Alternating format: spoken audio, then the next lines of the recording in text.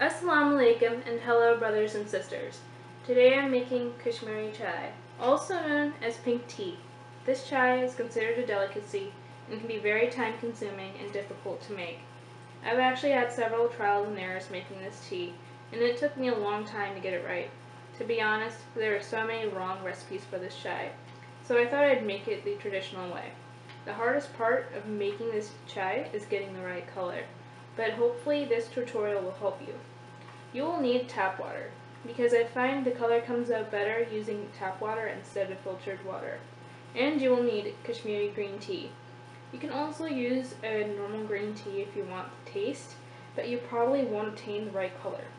These tea leaves are low acidic, basically meaning it'll be easier to get your chai pink instead of brown. You will also need baking soda, salt, milk, and the secret ingredient I use is ice. Also note the correct pink color won't be obtained if you're cooking in any other pan besides a steel pan, and also only use steel utensils. Making this chai is kind of a chemistry experiment, and very tedious, so please carefully follow each step if you plan on obtaining a beautiful pink color. Also, I'm not adding any cinnamon, star anise, or cardamoms because I don't want it to potentially affect the color. Please keep in mind things like cinnamon can make your chai brown. You can also add sugar to this chai, but the traditional Kashmiri way of drinking it is to leave it salty. I won't be adding any food coloring of any sort. Now let's get started. The first step is to pre-cook and boil our milk for our Kashmiri chai. Once it's done, we're going to put it aside. I have a coffee filter and I'm going to put one heaping tablespoon of Kashmiri green tea leaves in and I'm going to wrap this up and tie it with a string very tightly so we won't have to strain it later.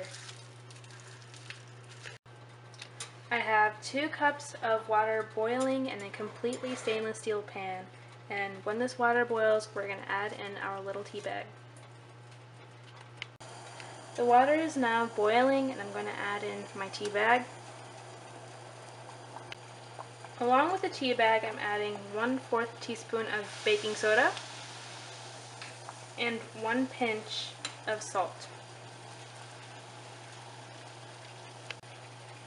We're going to allow this to simmer for 30 to 45 minutes and we're going to check this every few minutes to make sure the water hasn't all evaporated. After exactly 10 minutes, this is what our tea looks like, and it looks fabulous because you can see all around the pan that the foam is turning red, and this is a sign that your chai will be pink and not brown. So always make sure that the bubbles and foam look red or pink. If you notice that the water is evaporating too quickly, please add very hot or warm tap water. Don't add cold yet because it's not the step yet to add cold.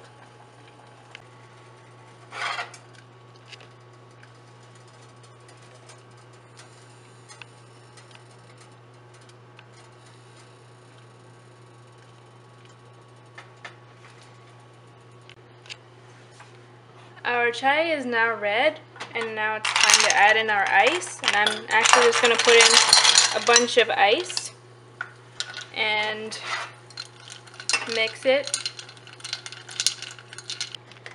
I'm going to take out our tea bag and mix it vigorously for about five minutes. Our Kashmiri tea is almost done and it's a very maroon and now we're going to add in our milk and we're going to add as much as we can to get the desired color.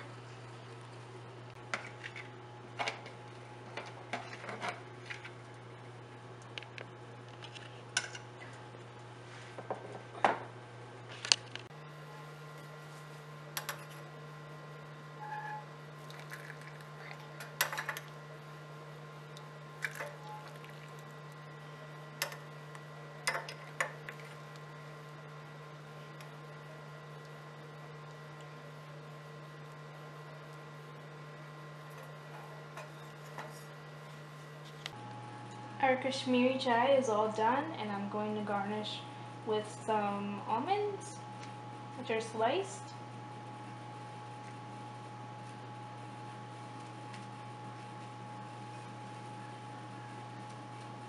And some pistachios.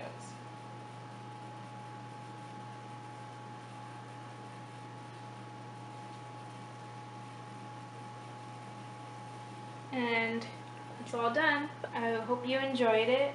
Bye.